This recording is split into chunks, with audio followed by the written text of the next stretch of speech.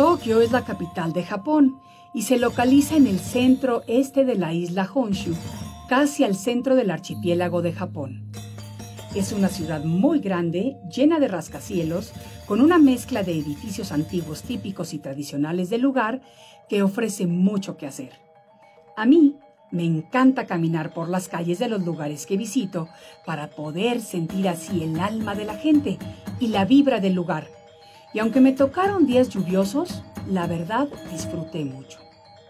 La Torre de Tokio es la segunda estructura artificial más alta de Japón. Es la Torre de las Comunicaciones y cuenta con un observatorio desde donde se puede ver la ciudad. Es similar en forma a la Torre Eiffel de París, de donde se obtuvo la inspiración para construirla. La visita al mercado de pescado más antiguo del mundo no podía faltar, pues ahí tienen todo tipo de pescados, mariscos y animales marinos.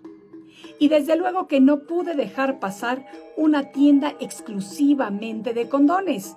Y me llamó la atención porque para los japoneses no hay talla pequeña, puesto que la pequeña es inteligente para ellos. Hmm.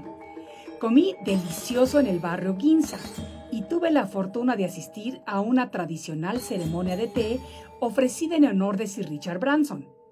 Las fiestas, desde luego, no se hicieron esperar y conocí un maravilloso Tokio de noche en muy buena compañía.